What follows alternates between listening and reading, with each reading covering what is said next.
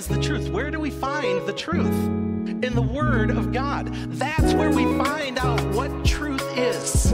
This is where we find out if our theology lines up with God's truth.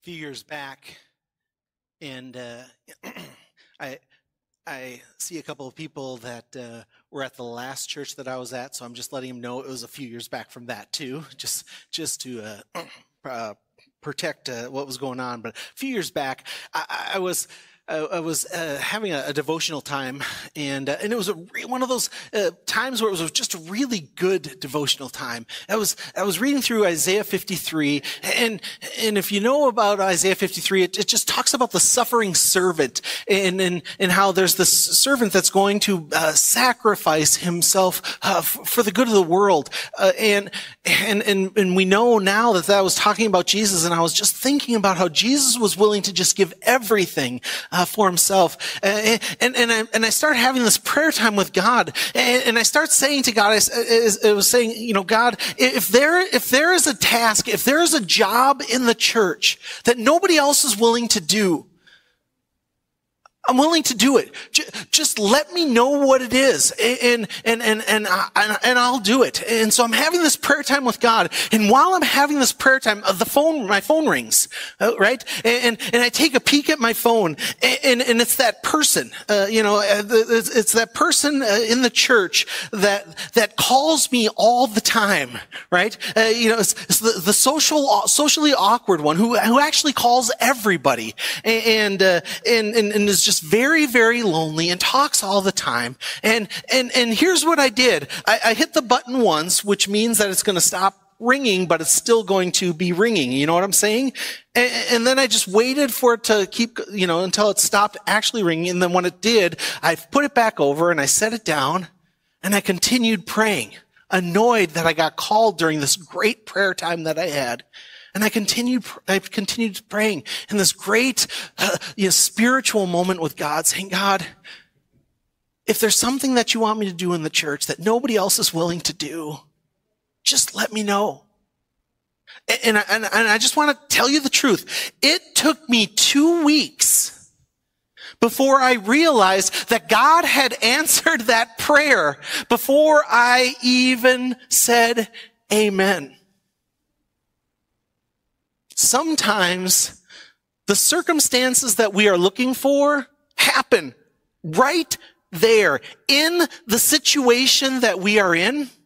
But often what we're doing is, is, we're looking for something that is going to happen sometime after right now, sometime out there, sometime beyond the right here. You know, God, I'm going to ask you for something that you will begin to figure out right out there, right beyond where I am right here. The passage of scripture uh, that, that I'm going to start to, to try and help us to unfold, uh, what, I, what I want to do today is just try to give us a little piece of, of, of trying to figure out what is going on right now. Right now inside each and every one of us. What's going on in the circumstance that you are in, that I am in right now? What is God doing in your life and in my life right now? What is the Spirit doing with you and with me right now? We, we, we've been trying to figure out God's will. How can we know God's will? And if you've been, if you've been with us this whole time, and even if not, I'm going to try and give you a big picture. We started off by, by looking at the fact that God's will initially is that our will would connect with God's will. God's whole plan in all of this is that uh, we would uh, be in relationship with Him. God's will and our will would be the same. And that, that we would begin to understand how to live out God's will by looking in his words, God's will and the Bible. The, God's word tells us how we can best live our lives and that his spirit begins to work inside of us, that, that it connects with the spirit in us to begin to understand what that looks like as we live it out. And that sometimes we don't fully understand how to live that out. And so we have Christian brothers and sisters. We look for those who are mature, more mature than us, more mature Christians to ask us and to help guide us when we're trying to figure out specific questions. But then now we realize we find ourselves in circumstances and situations. What do we do? What do we do right now? Well, Lord, as we begin to look at the right now, and really honestly, the confusion in the midst of it, would you help us to be people that choose your will, that trust your word, your spirit, the wisdom of those around us, and embrace the circumstance that we are in.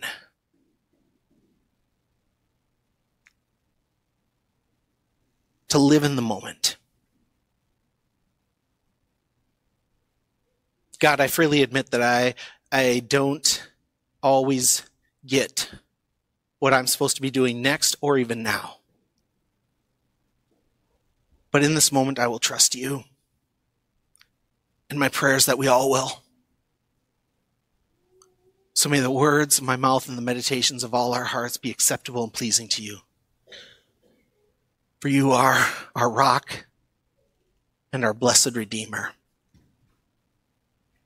Amen. So as we start to dig into Romans 8, I just want to give you a little bit of background as we jump in. Uh, as we as we start to see uh, in in uh, in, the, in, Romans eight, we're we're going to see that Paul talks about something. But but but as we look at it, I just want us to remember that that we're, we're, what we're saying is is whatever our circumstances, and then we're going to finish the phrase each and every time. Whatever our circumstances, and we finish the phrase. Okay. So as we start, it's whatever our circumstances. The Holy Spirit helps us to seek God's will. Okay. The Holy Spirit helps us to seek God's will. So, so Paul in this section uh, continues on a thought and he says, in the same way. Well, in the same way as what? Well, Paul was, was just talking about the fact that we suffer. Christians everywhere are suffer. And so what he's saying to them and what he's saying to us is we are all going to go through times where we suffer. We're going to go through difficult times, hard times. So that's the reality of people. Whether we live for God or whether we don't live for God, we're going to go through difficult times. And in the same way, so we, we go through difficult times, but in the same way, the Spirit helps us in our weakness. Well, what is he talking about when he is saying weakness? It's, it's not when we go through flabby times, although some of us go through flabby times as well, right? In weakness, what he is talking about here is, is times of confusion, times of indecision, times where we don't know what's next what do I do now? I'm, I'm, trying to figure out what is supposed to happen next. What am I supposed to do later today?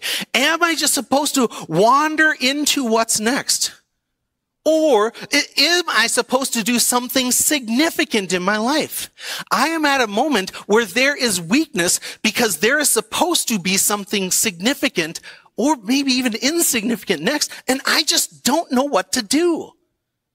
In the same way where the Spirit is with you when you go through very challenging, painful, difficult things, when you're in indecision, the Spirit is with you. We do not know what we ought to pray for, but now let me stop right there. Uh, can, can, I ask all of you here, and, and even those of you who are watching online, if you want to do this, if you are able to do this, I would love it if you'd be willing to just do a little exercise with me, okay? It, just, a, just a little example. If you're interested, I invite you to stand up. And at home, you can do this. I, I, I trust you to be honest. Just stand up if you want to. Here's what I'm going to do, okay? I have two coins in my pocket. I'm going to use this one because I can read it better. Okay, so I'm just going to flip a coin Heads or tails, right? If you answer it incorrectly, wherever you are, I just want you to sit down, okay? We're going to see who the winners are and the not so much winners, right? I call them losers, but these days you're not supposed to have losers. Okay? So, heads or tails, you say it out loud, um, and if you get it wrong, you're sitting down, okay? Oh, I hit the, I see it in the lights, I'm, I go blind, I'm flipping it over in my hand. Tails never fails. Heads, you're sitting down. Oh, you losers. I mean, non-winners, you'll get a participation trophy, I'm sure. At home, if you're still standing, feel free to write it in the comments section. Still standing. Heads or tails? Heads? Heads is, oh, never mind. It is heads. Tails, sit down. All right. Whoever ends up, uh, whoever ends up standing at the end does get a prize, I guess, right? Still standing at home? Heads it is. I thought tails never fails. Oh, dropped it. It is tails. That's why I brought a backup coin because I knew I would drop it 50-50 if I would find it, right? All right. How we doing? Did you both say heads? This could be a long, this could be a long morning. It is heads. Please each say a different thing because it could be a long morning. Did you both say heads? Oh, thank you for splitting. Heads it is. All right, keep going. Oh, keep going. Oh, his tails. Keep going. His tails. Keep going. Oh, it's tails. That means I get to keep the coin. But here's the thing. Thank you all for playing. I, I'm, I'm poor, I guess. I get to keep the coin. Here's the thing. A lot of times when it comes to making decisions, this is, I think, how we actually make decisions. We get to the point where we don't know what we ought to do, or we even don't know what we ought to pray for. And so then we just kind of decide something. We just kind of head in a direction. I don't even know where we should eat this afternoon. We ask dad. Dad doesn't know. And so we just sort of do something. And, and, here's the reality. Most of the time, it just seems to be okay and it just seems to be fine. Here's what I think. This is Justin's opinion. And I think I can back this up with scripture, right? God has a plan for us. God has an ultimate plan for us. God cares about each and every decision we make. Some people would say, does that mean that God cares what shirt you wore today? I don't really know, but I know that God loves each and everything about you. And God loves you and God works on your behalf in every and any circumstance that's going on. And if you are trying to figure out something that's going on, the Spirit is going to help you in your weakness. That's what, that's what Paul is saying here. Your indecision, when you're trying to figure out and you don't know what you ought to pray for, you don't know what direction to go, you don't know what you're trying to figure out, you don't even know what to pray for. It says the Spirit Himself, look what the scripture says. The Spirit Himself intercedes for us through wordless groans, which is a weird phrase. What in the world are wordless groans?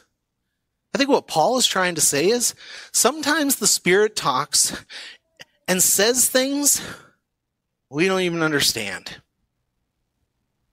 We don't get it. And that's okay.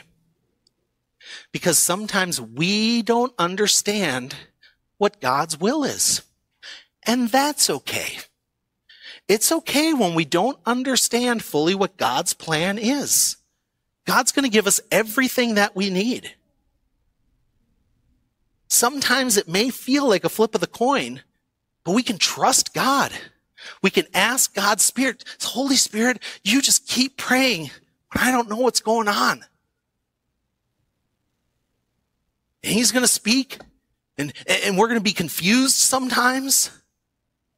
Verse 27, it says, And He who searches our hearts, it's talking about God. God who searches our hearts knows the mind of the Spirit,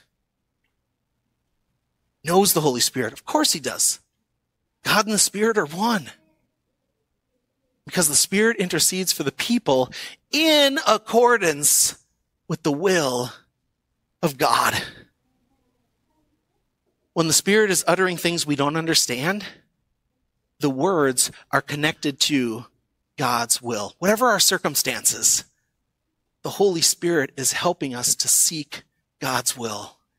When we are confused, the Holy Spirit is working to help us towards God's will. So who are we going to go to? The Holy Spirit. God, I don't get it. I don't know where I'm supposed to go. I don't know what I'm supposed to do. I don't even know what I'm supposed to pray for. Would your Holy Spirit please speak on my behalf? So I don't even know what to say. And God's Spirit will do it. And here's a key. The Spirit's going to do it whether you ask or not, but God invites us to ask. So we do it whatever the circumstances, the Holy Spirit helps us to seek God's will. But things get better in regards to the circumstances that we are in, in, in right now. Because whatever the circumstances, God will help us to accomplish His will. All right. So not, so not just the, the Spirit is going to help us to seek God's will, but now God's will help us to accomplish His will.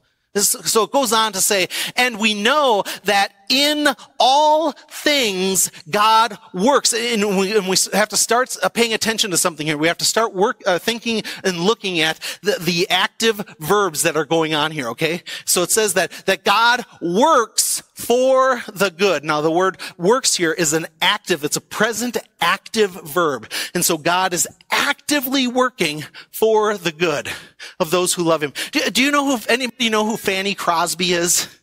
Fanny Crosby was this young girl, you know, years back, not, not super long ago, but, but she ended up going blind at, at the age of five, right? And, and, and, but she was a young girl who, who decided to make the most of her life. And so at the age of eight, she, she started writing poems, poetry, and then she started writing hymns.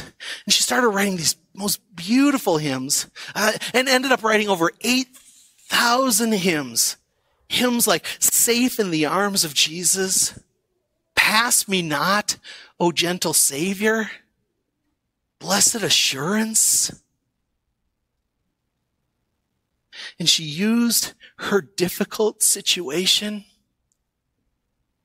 God used that to bring something good. And people have been singing and embracing her hymns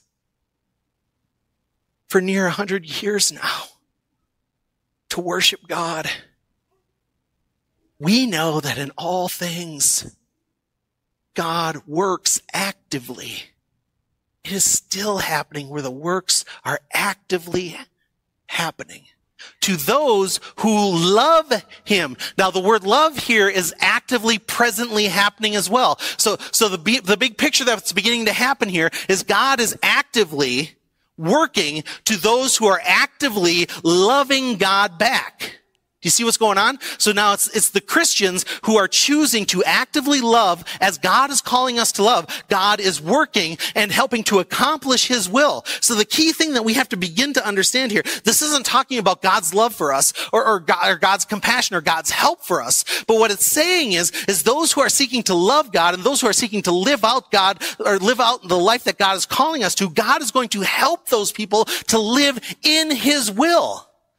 Those who are not seeking to live out the way God is calling us to, God isn't going to necessarily help them to live out his will. I know that might be a hard thing for us to, to accept and understand, but that's what this, this passage is telling us. That this is actively what's going on. God's working with those who are actively loving and who have been called according to his purpose. Well, what's the purpose? And we are about to get into something that, that, that, theologically people have been arguing over for hundreds of years. And, and I'm not going to be able to answer the question in the next 10 or 15 minutes that I have here. I'm just warning you of that, right? Um, of course, I have opinions on it, and we could probably talk about that at some other time. But, but I think what Paul is trying to paint is a general picture for all of us here. And, and some people will argue that this is talking about salvation and blah, blah, blah, blah, blah, blah, blah. But, but just hear the picture of what I think Paul is trying to say about God in all of what I'm about to share in regards to God's purpose in this. He says, for those who God foreknew. Now, so we're getting into what, who, those who are called according to his purpose, okay? He says, for those who God foreknew. Now we get into something that's called the aorist tense. Now this is this past tense, this past very active tense that God had, okay? But it's in the past. He said that, that God foreknew. So now we're talking about the omnipotence of God, that God had this understanding, this full, omnipotent, all-knowing understanding of past, present, and future, but it happened way in the past of what was going on. That God knew this. He also predestined. He put this plan into place way before time began. So way in the past, he had this active plan that he put into place. He knew it.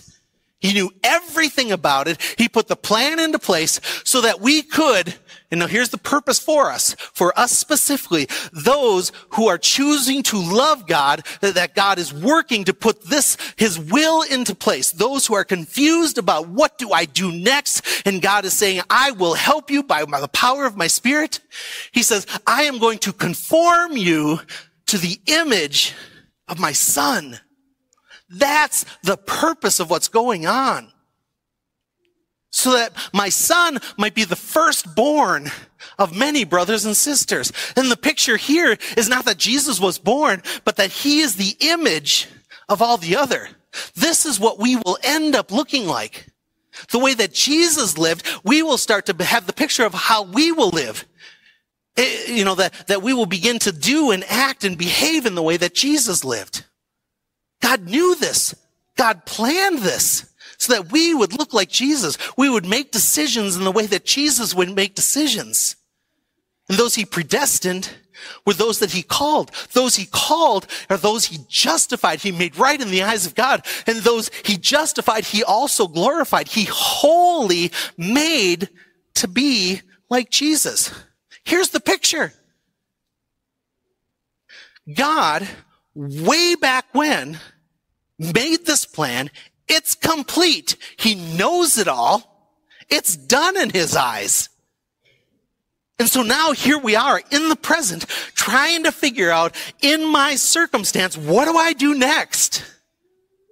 Who are we going to trust to know what we do? Paul's pointing to the guy who figured everything out way back then and say, who are you going to trust? The one who already has a plan to conform you to the image of Christ. He figured it all out. He's got the plan. He knows what you will look like at the end. And he knows in the situation that you are in right now how to make you a little more like Jesus in your circumstance. God will work on your behalf, whatever circumstance you're in. God will help you to accomplish his will. That's what God wants to do. Whatever circumstance you're in, God will help you to accomplish His will. And then continuing on, whatever your circumstance, we can trust God. Whatever, whatever you're going through right now, we can trust God. Those of us who are called according to His purpose, those of us who are seeking to love God. He's working in our lives. We can trust God to work for our benefit, that He's going to help us to become like Christ and do the things that He calls us to do. It's going to work for our benefits. So He says, What then shall we say in response to these things? If God is for us, or actually it means since, since God is for us, not if, since He's for us, who can be against us? It's rhetorical. No one. Even if we find ourselves in difficult situations, right? Even if we find ourselves in situations where we don't know the answer, we're going to be all right. We do not have to be anxious. We do not have to worry about anything. But with everything, with prayer and petition, with thanksgiving, we present our request to God. The peace of God will, that surpasses all understanding will guard our hearts and mind in Christ Jesus. It's going to be okay. The one who did not spare his own son, verse 32 says, but gave himself up for, for us. How will he not also, along with him, Christ, graciously give us all things? God's going to take care of us. In the circumstance that you are in, those of us who are looking to live for Christ, not just take care of ourselves, God is with you and he will take care of you. I, I threw out a question uh, on Facebook just a couple days ago. It was really, really fascinating. I was hoping that one or two people would respond, uh, and and some really neat answers um, were presented. And if you're interested in finding out what a bunch, you know, some people said, just just go to my my page, my Justin Lefto page, and just see what they said. But I just want to share with you what what a few of the people said. Um, and it might be hard for you to read. I know it's hard for me to read, so um, I've got them up here as well. But but I just want to read a few of them to you, just to hear what some of the people said. My question was, um, when has an unexpected change uh, worked in your favor? And uh, I'm just going to read a few of them just so you have an idea of, of what has gone on in some people's lives. Jessica D said this. She said, My sister had a lawnmower accident. And her wanting to uh, spend her settlement on living where she could have ducks and chickens led us moving from the cities to Ogilvie, where our sisters eh, where our sister and I both met our husbands, and I found short horses, which sounds weird. It's a youth ministry organization that I and some other people started in rural Minnesota.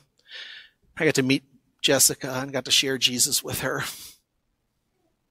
her life was changed because somebody wanted to go live by ducks. God works on your behalf, even in seemingly random circumstances. Natalie Faust, my divorce. Then was set up on a date with a friend. We're now married with two beautiful, ornery little boys. And life is definitely not what I expected seven and a half years ago, but pretty dang amazing. I knew them both and they asked me to officiate their wedding. And I would tell you that I think that God meant for them to be together. God works on our behalf, even in seemingly random circumstances. Kathy Slipko Wild. It's a girl I knew in high school. The only way I kept up with her was on Facebook. She said in four years, I lost my mom to cancer, my dad to emphysema, my dog, my husband to cancer, and then was laid off for the first time in my life from a job 10, of 10 years that was really good, but I was overstressed from. I fought to find any job other than software support. I kept fighting to control my life, to try to steer uh, it to what I thought I wanted. When I finally conceded, I asked God to lead me to what I needed to be happy, not what I wanted. I have a great new job in software support, way less stress, and the opportunity to work from home. I joined Match.com and had a wonderful man to ask me out. Luckily, he didn't follow my set guides of only 10 years older. He's 13. I'm so happy with him after these last nine months. Grateful that I let God steer this time. God works on your behalf, even in seemingly random circumstances. Alice and Patton here at church had kids number three and four, eight months apart. When the youngest was three months old, my husband was very unexpectedly lost his job. I was a stay at home mom it was scary, but in hindsight, God knew I needed help with the kids. Through it all, He provided for all our needs and then returned Chad to a stable work company to work for a few months later. Also, the story of the youngest kids are eight months apart is another super cool, unexpected God thing and worth you asking them about. God works on our behalf, even in seemingly unexpected circumstances. Bev, who shared prayer and scripture today. She posted this yesterday and said, Chuck and I lived in Andover during the 91 tornado. He was working as a computer programmer by day and flight instructor by night. I was working at a savings and loan bank in Andover, as well as going to a school and working at a pizza place across the road of my main job. We had not been married quite two years when the tornado hit. We lost everything but our vehicles and our plane. Because we didn't have cell phone then, we had to use pay phones or borrow phones to try and find a place to live. We drove to the Benton airport to use the office phone, and it was there he learned that we could live in a trailer just off the airport. We moved in with our vehicles, and the clothes on our back within 24 hours of losing our house and all our stuff. Though we had lost our house and stuff, we felt very lucky because we gained a loving community that took us in and made us feel at home. A year later, we bought a house on the east side of the airport and we became fully involved with the Benton Church. The loss of the stuff in our first house was hard, but the gain of a community for the last 29 years has been wonderful. God works on your, your behalf, even in seemingly random circumstances. Michelle Swift, who's here, she says this is a very abbreviated version. But if I had a good back, I wouldn't have Abby, her daughter. Adoption has been the greatest blessing of my life. So on days when I want to give up, I remember if there hadn't been such physical pain, there never would have been the gift of my daughter. God works on your behalf even in seemingly random circumstances. Nicole Baker, she's a girl that I work out with if my firstborn preemie was, or if my firstborn wasn't born preemie, I'm not sure I would have, what would have restored my faith. I was hurt and mad from my dad passing away unexpectedly when he was so excited to be a grandpa. Watching my miracle 1.14 pound baby live and thrive and beat many, so many odds changed my heart just when I needed it. Thankful for that storm. Jeremiah 29 11. God works on our behalf even in seemingly random circumstances. And then Kelly Suter, some of us here know. I love what she wrote. I always think when I have unexpected change, it's God's gentle reminder to me that He is doing what He promised to prepare the way. And I wait patiently for the blessing or the surprise of the change of plans. Do you know that right here, right now, God is working on your behalf in this circumstance? It's Father's Day today. I don't know if you're ready or not for it. I would say, in some respects, it doesn't matter. God is working on your behalf, even in whatever the circumstance is. You might be having all kinds of struggles and trying to figure out what's next, some sort of decision in your life. God is working on your behalf. Whatever the circumstances. I got a call yesterday morning. My dad took a turn for the worse. And then last night at 11, I got a call saying the fa- family better come. I'm leaving. I'm leaving after church today to go say goodbye to my dad.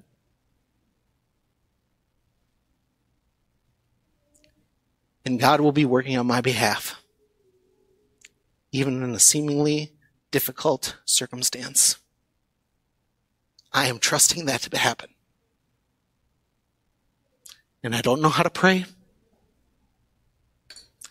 And I think you understand. Right? So I'm trusting the community to support me.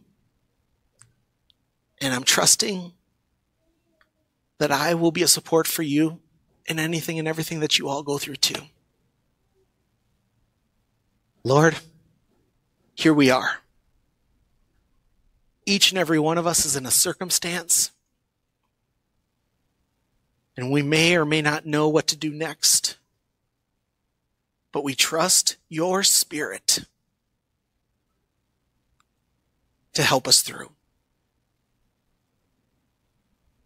God, I am confident that you are working.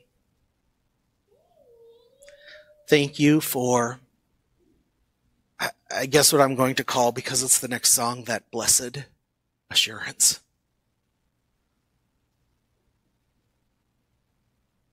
And help us all, God, because sometimes we're confused. Sometimes it's painful. God, sometimes it's great. It is. But we still want to trust you. So that's where we place ourselves. Amen. Thank you for watching this week's message. We hope you found it both encouraging and helpful. If you did, please click the like button and share with your friends. If you want to hear when new messages are posted, please subscribe to the Benton Church. We also invite you to join us on site for worship. We're located in Benton, Kansas, just east of Wichita. Our Sunday services start at 10:30 and our doors are open to everyone. For more information, please check out our website at thebentonchurch.org. What do you know about God? He loves us. He died for our sin. He helps us. He's powerful. And he loves you.